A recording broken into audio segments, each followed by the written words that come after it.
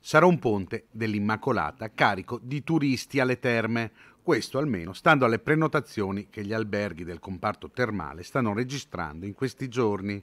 Molte le occasioni di svago messe in scena anche grazie alle amministrazioni comunali che stanno presentando i cartelloni di eventi. Resta però la polemica sulla qualità del turismo, da qualcuno definito mordi e fuggi che non lascia significativi riscontri sul territorio.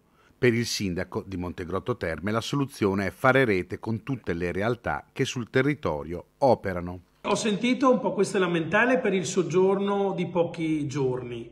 In realtà è un trend che continua da diversi anni, il soggiorno medio è di 3,2-3,3 notti.